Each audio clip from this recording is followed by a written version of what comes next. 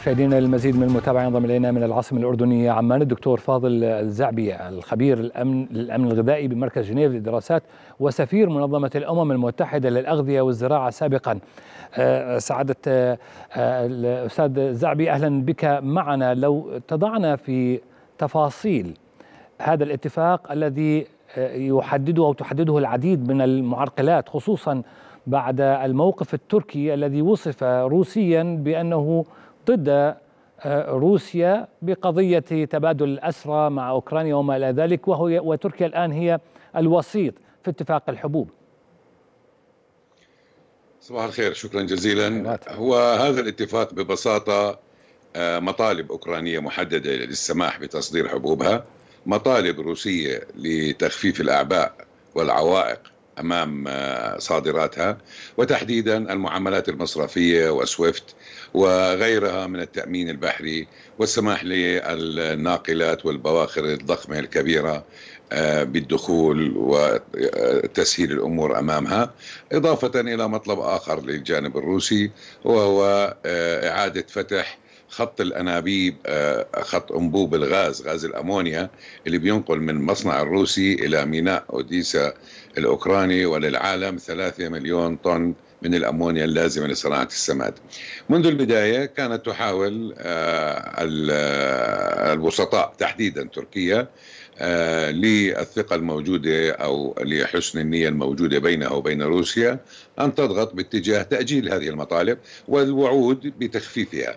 لكن على عدة مراحل تم التمديد لم يتم تخفيف أي منها.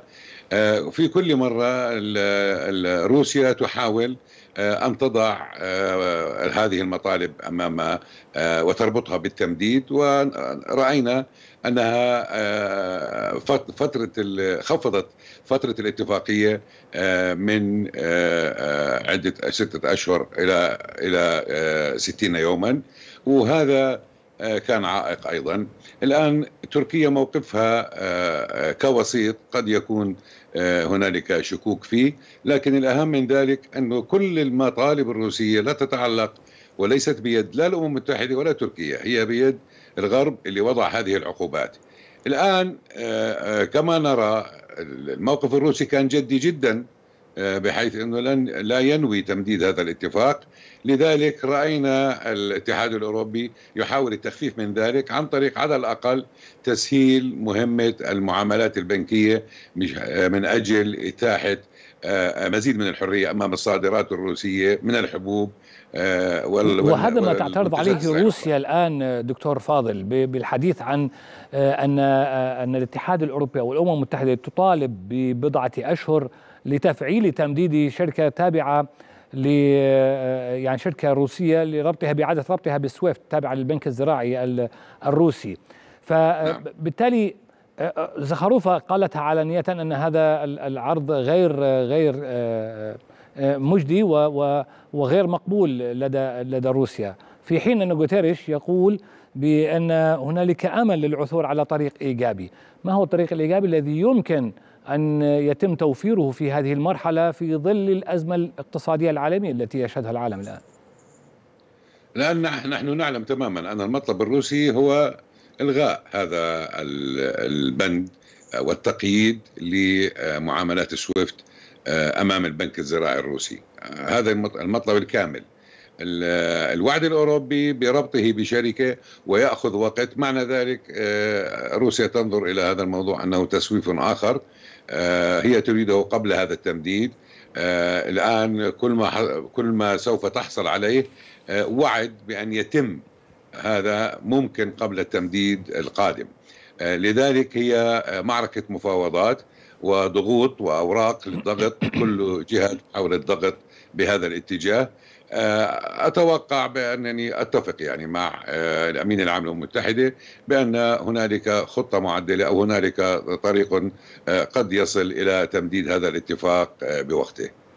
ما هي الطروحات التي يمكن أن تطرحها روسيا الآن دكتور فاضل كبديل لهذه الأمور التي يعني يصعب على الأمم المتحدة تنفيذها وفق تصريحاتها ووفق حديث حضرتك بأن العقوبات هي ليست عقوبات أممية بل هي عقوبات غربية قبل أن تكون أممية، فبالتالي كيف يمكن أن تستفيد روسيا أو أو ممكن أن تقدمه من بدائل لطروحاتها السابقة؟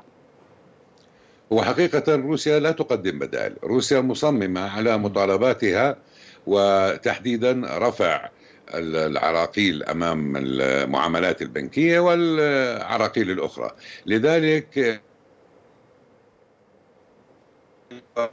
الغرب والأمم المتحدة وتركيا آه، نعم. فتحاول أن تصل إلى نصف الطريق بين المطلب الروسي وبين ما يمكن آه، فعله آه، أتوقع أن يكون هنالك عمل إيجابي ورد فعل إيجابي في صيغة توافقية مشروطة لتمديد هذا الاتفاق اللي بينتهي يوم الاثنين القادم.